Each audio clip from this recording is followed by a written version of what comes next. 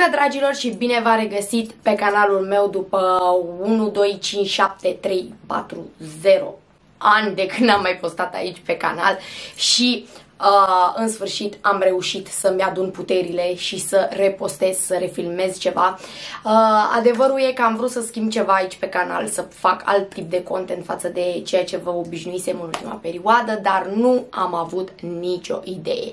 Așa că zilele trecute în sfârșit m-am hotărât și am zis gata frate, de acum mă apuc să filmez. De mult voiam să-l fac, dar n-am avut uh, resurse energetice să mă apuc să caut prin magazine uh, produse dubioase pe care să le testez. Sincer, vreau să fac clipul ăsta și de curiozitate, pentru că sunt și eu extrem de curioasă să gust diversele chestii pe care o să vedeți că le testăm astăzi împreună și vă dau feedback ca să știți dacă să vă cumpărați și voi sau nu. Am aici o groază de produse noi uh, pe care nu le-am mai gustat și sunt sigură că nici voi nu le-ați mai gustat. Și astăzi asta o să facem. Vă spun dacă sunt bune sau nu, dacă sunt porcării sau nu. Am niște chestii aici extrem de dubioase, dar o să trecem imediat la treabă. Prima chestie pe care o încercăm astăzi este o ciocolată. O să încercăm ceva dulce. Începem cu dulce. Hai mă focalizează. Vorbim despre o ciocolată din gama nouă de mm, ediție limitată pe care cei de la Heidi au uh, scos-o. Și vorbim despre ciocolată dubioasă de Vorbim despre ciocolată dubioasă de vară. Cu arome au trei variante, mi se pare că cu chili și ceva. Am mâncat o singură dată ciocolată cu chili și nu vă recomand. Um, ceva cu mentă și portocală parcă. Am avut de ales între aia și asta, dar mi s-a părut mai tare chestia asta. Cu uh, pineapple și coconut. Cocos și ananas într-o ciocolată pentru mine sună tare dubios. Așa că astăzi deschidem chestia asta și o testăm să vedem dacă e bună de ceva sau nu. Ok, ciocolata e albă. Nu știu dacă se vede. Ciocolata albă. Miroase... Miroasea... Ananas, nu cred. Ciocolată cu miros de ananas. Nu credeam că o să prind și ziua asta. Hai să vedem. Nu știu dacă o să-mi placă. De obicei, ciocolata cu fructe nu e pasiunea mea.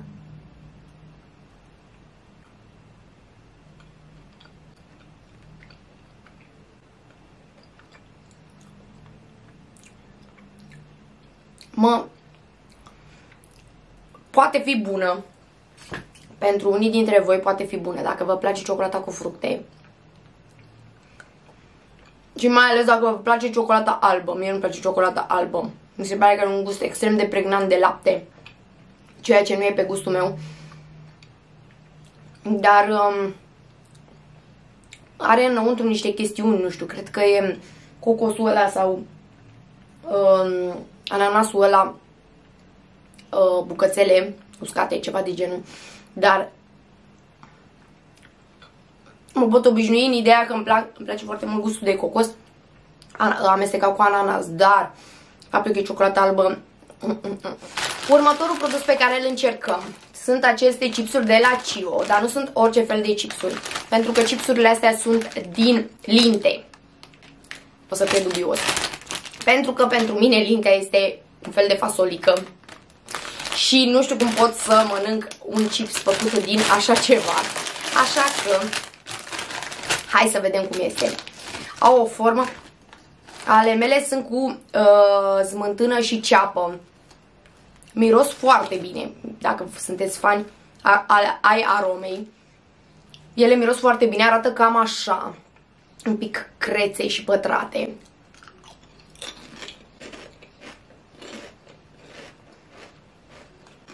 Sunt foarte bune. Deci dacă sunteți fan snacks-uri sau chipsuri, vă rog să cumpărați asta. Este absolut genial.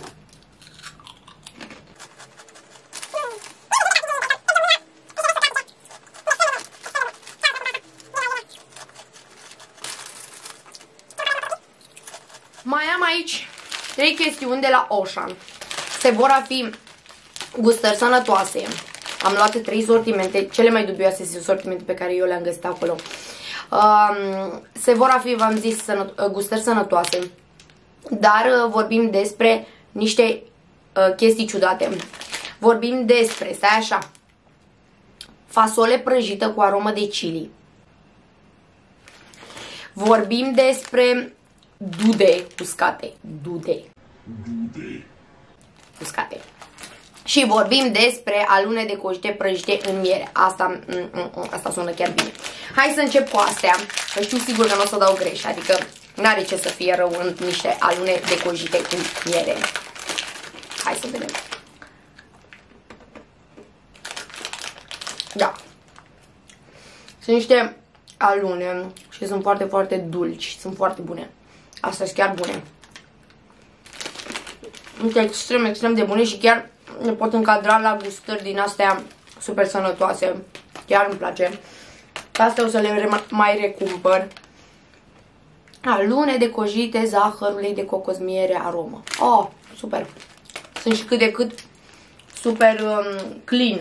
Conținutul este super clean, adică nu sunt adăugate conser adăugați conservanți și alte nebunii. Ok, uh, fasolea, încercăm fasolea prăjită cu aromă de chili. Asta trebuie să fie ușor picantă, dar nu pot să-mi imaginez cum este fasolea prăjită. Dacă voi vă puteți imagina, n-am mâncat niciodată. Miroase, miroase ciudat, miroase a făină, în primul rând. Miroase chiar dubios, nu știu dacă vreau să gust asta. Textura e super sfârmicioasă, super crocantă. Sunt ușor picante, dar decent. Mi se pare că au vreun gust anume foarte pregnant sau ceva. Mai mult chiliul ăla. În niciun caz n-au gust de fasole. Textura e foarte mișto. Dacă vă plac chestiile crunchy așa, cu siguranță o să vă placă, dar n-au niciun gust pregnant, uite. Arată fasole, nu cred. Chiar e fasole. Da, e ok. Sunt super ok. Astea chiar nu au mai nimic, au fasole, 80% ulei de floarea soarelui, chili uscat 2% și sare de mare, adică sunt super sănătoase. Eu sunt chiar bunuțe, adică să neutre așa sunt ok. Și hai să le încercăm și pe ultimele, dudele uscate, despre care eram extrem de curioasă, pentru că n-am mâncat niciodată. Am mâncat tot felul de chestii uscate, dar în niciun caz dude. Și nu pot să-mi imaginez cum Dumnezeu e duda uscată. Uite, așa arată. O dudă. Chiar arată dudă. Albă.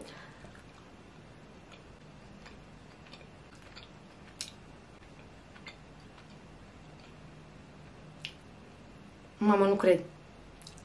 Chiar are gust de dudă. Chiar are gust de dudă, nu cred. Uscată. Știi ce au gust? Sunt ușor dulci. Ușor dulci, zici că exact ca duda. Deci dacă vă puteți imagina o dudă fără apă, fără hidratare, cam așa ar fi. O gust foarte bun și mi-aduc aminte de miere, ceva cu miere. Sunt foarte, foarte bune. Textura este lipicioasă. Așa, exact ca la stafide, nu știu, ca la fructele uscate. Că sunt foarte, foarte bune.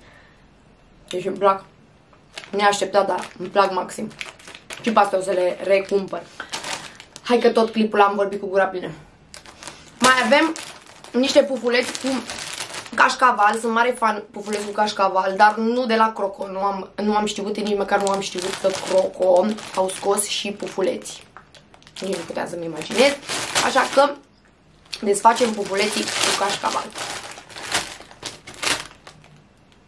Nu miros, un, un prim aspect, nu miros la fel de urât ca cei de la Loto, cei clasici, pe care îi știm cu toții și pe care probabil toți am mâncat.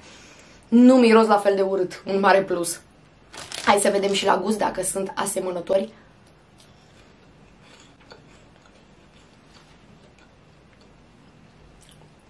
Sunt asemănători, dar sunt, mi se par, mult mai moi. Se topesc foarte bine în gură. Și gustul ăla de brânză este mult mai asemănător cu gustul de brânză natural, adică și de la Lotus foarte artificial, de asta și mirosul probabil. Dar ăștia am un gust super, super bun.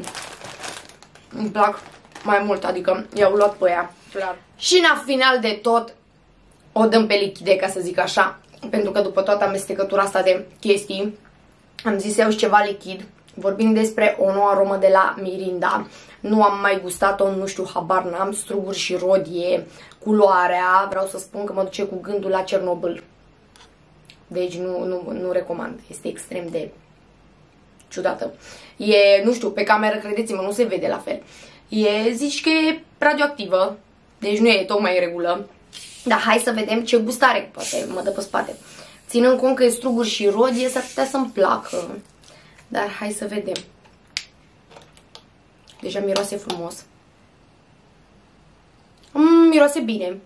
Mă și cu gândul la ceva jeleuri. Din alea cu fructe. Nu miroase ca și Fanta Madness în niciun caz, deși și asta e cu struguri. Miroase mai uh, bine, mai adevărat, mai, mai aproape de struguri decât Fanta Madness. Hai să și gustăm.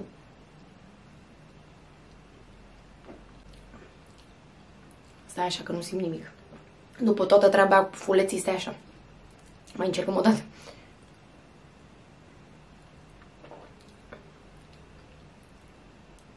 Mă, ori nu simt eu nimic. Ori asta chiar are un gust foarte, foarte mm, puternic. Băi, bună. Și fii atent că este și zero, nu cred. De asta simțeam eu dulcele la agresiv. Știți că toate băuturile dulci, îndulcite și nu cu zahăr, au un gust din ăla agresiv de dulce, din cauza îndulcitorilor. Ăsta are, dar nu e deranjant. De exemplu, eu Fanta Zero nu pot să beau, dar ăsta este ok.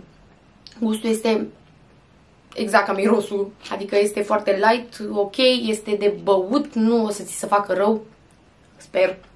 Mie sigur nu o să mi se facă rău. Culoarea mă dă pe spate, deci nu, cum am zis, e mult prea radioactivă pentru ce aș bea eu, dar este ok. Pentru aromă nouă este foarte, foarte ok. Cam asta a fost totul pentru astăzi. Cred că nu o să mai mănânc o săptămână pentru că le-am amestecat și e groaznic, absolut groaznic. Uh, concluzia e că, în afară de ciocolata aia pe care nu mi-aș cumpăra-o, și poate nici sucul ăsta pentru că nu este foarte sănătos. Sigur nu este foarte sănătos culoarea asta radioactivă. Restul le-aș recumpăra lejer, astea trei sunt super sănătoase, iar celelalte sunt super ok. Dacă vreți să le încercați și voi, lăsați-mi în comentarii să văd cum vi se par și ce părere aveți și voi despre ele. Și până data viitoare, când promit că o să revin, nu o să mai dispară aici pe YouTube, nu uitați de subscribe dacă n-ați făcut-o încă și aștept comentariile voastre să văd dacă le-ați încercat și cum vi se par. Uh, vă pup și aveți grijă de voi!